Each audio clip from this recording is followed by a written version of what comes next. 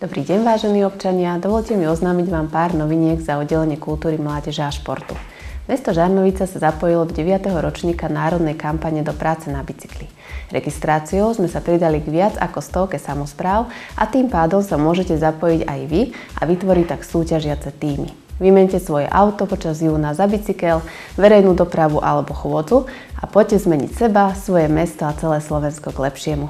Všetky potrebné informácie ohľadom priebehu kampane a registrácie jednotlivých tímov nájdete na www.dopracenabicykli.sk. Zmenu máte na dosah ruky. Mesto Žarnovica, miestna organizácia Slovenského rybárskeho zväzu Žarnovica, Centrum voľného času Žarnovica a starosta obce Voznica pozývajú na rybárske preteky detí, ktoré sa pri príležitosti Medzinárodného dňa detí uskutočnia v stredu 1. júna na Voznickom rybníku od 1 hodiny. Súťažiť sa bude v dvoch kategóriách, pričom prvá bude pre deti vo veku od 6 do 9 rokov a druhá pre deti od 10 do 15 rokov. Štartovné sa neplatí. Traja najlepší v oboch kategóriách budú ocenení medailami a vecnými cenami. Najväčší úlovok súťaže bude odmenený cenou starostu obce, rovnako bude ocenený aj súťažiaci s najväčším počtom ulovených rýb. Tešíme sa na vás. Mesto Žarnovica v spolupráci s organizáciami pôsobiacimi v meste pozýva pri príležitosti Medzinárodného dňa detí všetky deti na podujatie pod názvom Zážitkový deň detí. Stretneme sa v sobotu 4. júna od 1 hodiny v areáli základnej školy Frania Kráľa. Detí, ale aj dospelých čaká množstvo zážitkov a zvieracích dobrodružstiev. Môžete sa tešiť na policajné zložky, veteránov, pretekárske autá, plochodrážne motorky, bicyklovú show či tanečné vystúpenie. Zo zvieracej ríše prídu sokoliari s dravcami, kinologovia s obsami a včelári, každý so svojimi aktivitami. Sprievodný program je tvorený tvorivými dielňami, športovými súťažami, malovaním na tvár, nafukovacími skákacími atrakciami, ako aj prekvapením v podobe príchodu maskotov z obľúbenej detskej rozprávky. Pre obrovský úspech minuloročnej penovej párty sme sa ju rozhodli zopakovať, preto si ju určite na záver bombastického dňa nenechajte ujsť. Tešíme sa na stretnutie s vami. Mesto Žarnovica pozýva na hudobné podujatie Hudba v parku, ktoré sa uskutoční v piatok 10. júna od 18. hodiny v parku pri kostole. Opäť pôjde o tzv. preskokanskú akciu prestížnej športovej udalosti v Žarnovici, kvalifikácii do Grand Prix majstrovstva sveta, ktorú organizuje občianske združenie Speedway Club. Piatkový večer začne autogramiádou plochodrážnych hviezd a bude pokračovať v sprievode hudobných skupín Dream to Play a Dynastia Cover Band – Kultúrny zážitok prinesieme aj priamo pred začiatkom kvalifikácie Grand Prix a to 11. júna v sobotu v podaní bubenickej skupiny Tambores. Tieto športovo-kultúrne zážitky si určite nenechajte ujsť. Bližšie informácie ku všetkým pripravovaným podujatiam nájdete na webovom sídle mesta alebo na Facebooku Okomoša Žarnovica. Ďakujem za pozornosť a tešíme sa na vás na pripravovaných podujatiach. Želám vám pekný deň. Ďalší mesiac za nami, leto pred nami. Um, rád by som vás informoval o tom, čo sme stihli za uplynulé 4 týždne. Začnem mojou srdcovkou, Centrom integrovanej zdravotnej starostlivosti, aj keď teda projekt ako taký vyzerá byť ukončený, ešte stále sa tam niečo deje, ešte stále sa tam angažujeme. Um, aktuálne sa nám podarilo uh, v uplynulých týždňoch zabezpečiť už pos- presťahovanie posledného lekára, to znamená v týchto dňoch už v Centre integrovanej zdravotnej starostlivosti ordinuje aj urológ, ktorý bol donedávna vo vedľajšej budove. Takisto, o čo sa snažíme, je e, dotiahnuť ďalšieho lekára. Máme rozrobenú alebo rozkomunikované e, pôsobenie detskej lekárky, ktorá by bola zameraná na sono, to znamená ultrazvuk, ale mm, celé to je trošku zložitejšie, takže potrebujeme ešte nejaký čas, ale verím, že sa nám to podarí dotiahnuť do zdárneho konca. Takisto v tomto mesiaci už začala ordinovať uh, nová zubná ambulancia, ktorá, mm, verím, že ste si všimli, uh, prevzala pacientov uh, doktora Šmondrka a doktorky Šmondrkovej. Um, aktuálne ordinujú v priestoroch pani doktorky Šmondrkovej, ale pustili sa už aj do prispôsobenia modernizácie priestorov dolných, to znamená tam, kde ordinoval pán doktor Šmondrk a verím, že či už v priebehu budúceho mesiaca, alebo možno v priebehu alebo začiatkom júla, by už poskytovali zdravotnú starostlivosť nie len v jednej ambulancii, ale, ale v dvoch. Toľko k zdravotnému stredisku, alebo teda k centru integrovanej zdravotnej starostlivosti. Ďalší náš projekt Kaštiel, tam sme začiatkom roka predložili žiadosť na ministerstvo kultúry. Dodnes nemáme žiadne výsledky, každý deň pozeráme a čakáme, že či sa nám nepodarí získať tú dotáciu, ktorá by znamenala, že kaštiel budeme môcť dokončiť, respektíve zrekonštruovať na 100%.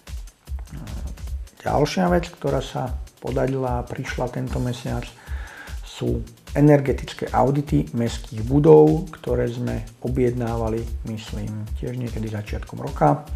Dnes už ich máme k dispozícii, či už čo sa týka budovy mestského úradu alebo budovy škôl, e, školy, prepačte, základnej školy prvého stupňa a takisto aj budovy kaštieľa. Na základe týchto energetických auditov budeme ďalej spracovávať a súťažiť projektovú dokumentáciu, a verím, že keď bude táto pripravená, tak sa budeme môcť zúčastniť aj nejakých víziev na získanie nenávratných finančných prostriedkov, či už z fondov Európskej únie alebo z nejakých iných zdrojov. Jedna vec, ktorá je mm, veľmi aktuálna ktorá končí teraz, ku koncu mája, ku koncu mesiaca, je verejné obstarávanie na závlahový systém pre štadión, to znamená pre futbalové ihrisko. Tam teda verím, že do konca mesiaca nám prídu relevantné ponuky a budeme túto súťaž vedieť vyhodnotiť a budeme môcť zazmluvniť víťazného a teda najlacnejšieho zhotoviteľa a v priebehu leta môžeme potom zrealizovať inštaláciu tohoto závlahového systému. Posledná vec, formálna, ktorej som sa venoval, boli tzv. monitorovacie správy. To sú také informácie, ktoré zasielam na tie riadiace orgány, to znamená na ministerstva, ktoré nám poskytovali finančné prostriedky.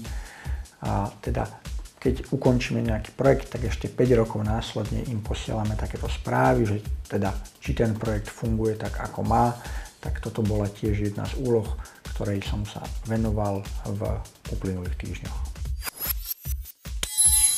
Hlavným poslaním našej základnej umeleckej školy je venovať sa deťom, porozumieť ich vnímaniu a cíteniu, rozvíjať v nich nadanie. V novom školskom roku 2022-2023 by sme chceli pokračovať vo všetkých zabehnutých odboroch a podľa záujmu zo strany žiakov znovu obnoviť aj literárno-dramatický odbor. Najdlhšiu tradíciu na našej škole má hudobný odbor.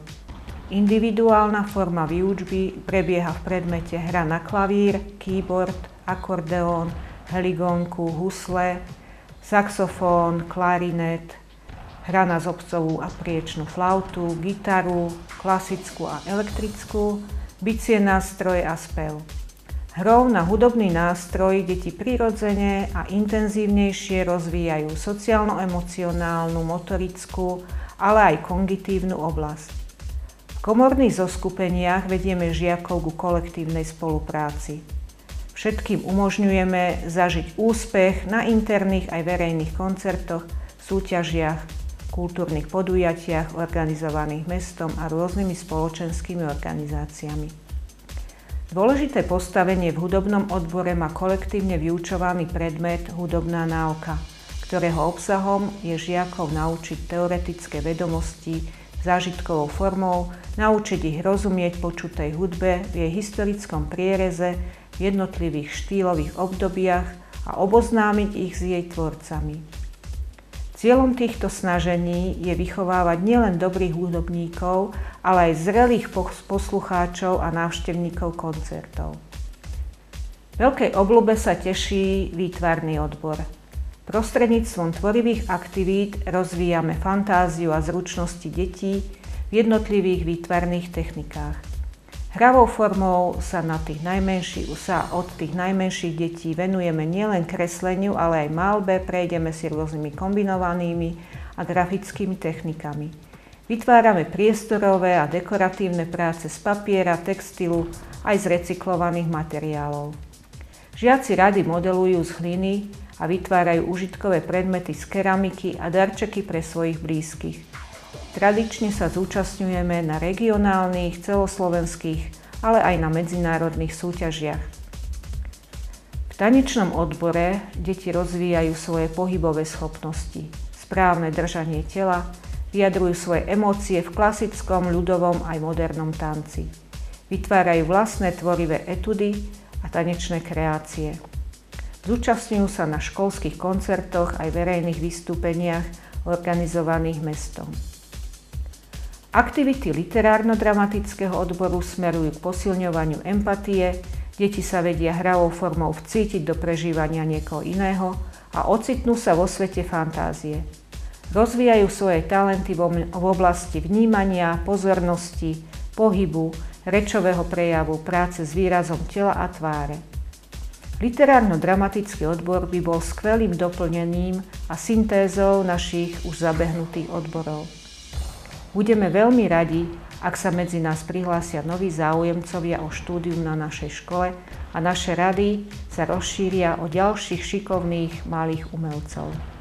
Prihlášku a bližšie informácie o príjmacích skúškach, ktoré budú dňa 7. a 8. júna v priestorom základnej umeleckej školy, nájdete na stránke našej školy. V prípade naplnenia tried dodatočné skúšky v septembri prebiehať už nebudú.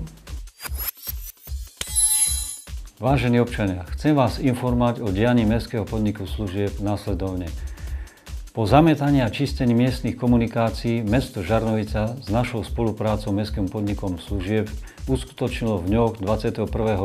apríla do 3. mája jarné upratovanie v meste a jeho prímeských častiach. Tak ako aj po minulé roky, tak aj v tomto roku sme zbierali odpad od občanov následovne. V prímeskej časti e, sme vyzbierali 9,1 tony objemného odpadu, a 6,28 tón drevo spolu s konármi. V meste Žarnovica sme vyzbierali 32,28 e, tóny objemného odpadu, 18 tón dreva a konárov spolu.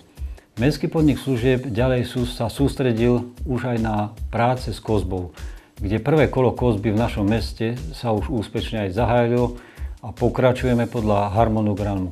V niektorých miestach začíname už aj druhé kolo. Okrem kozby robíme aj výsadbu, hnojenie, polivanie kvetov. E, mohli ste nás vidieť aj pri strihaní živých plotov. Pokosenú trávu odvážame na súkromnú biokompostáreň.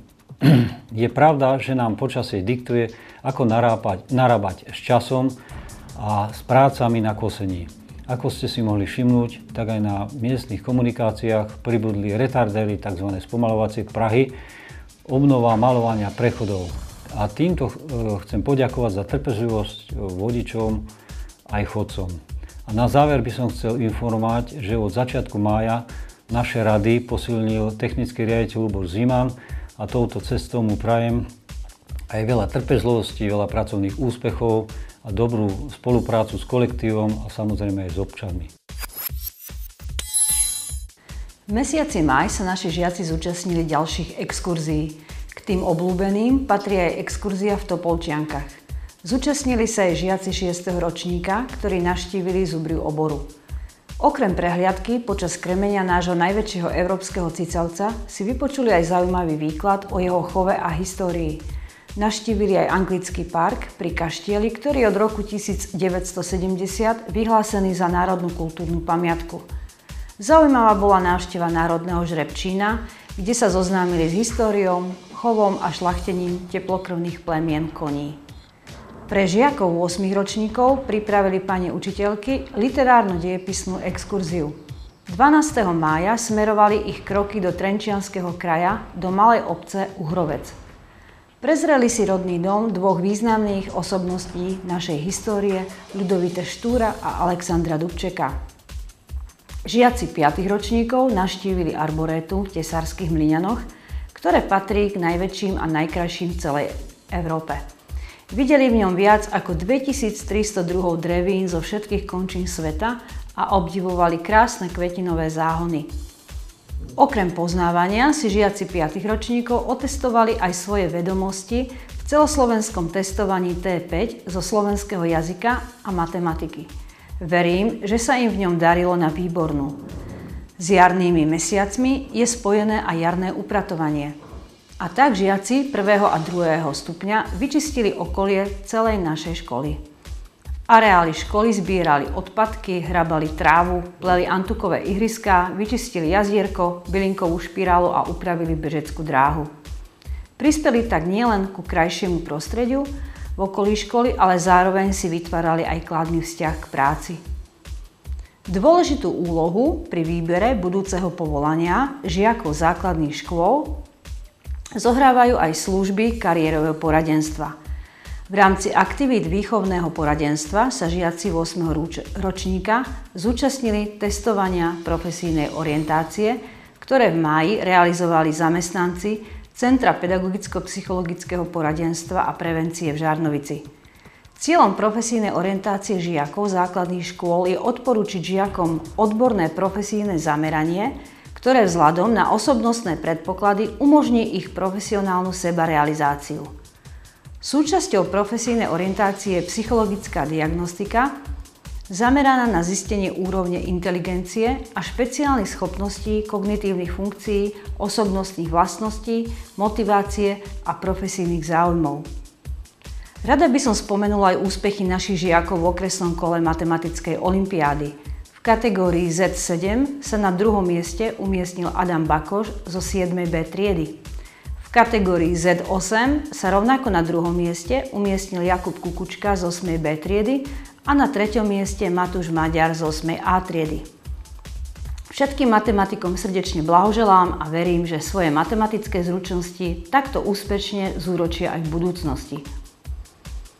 Na záver s radosťou pripomínam, že sa blížime do cieľa tohto školského roka, keďže máme pred sebou jeho ostatný pracovný mesiac.